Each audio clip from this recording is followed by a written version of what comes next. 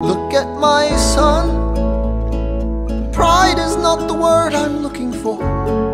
There is so much more inside me now.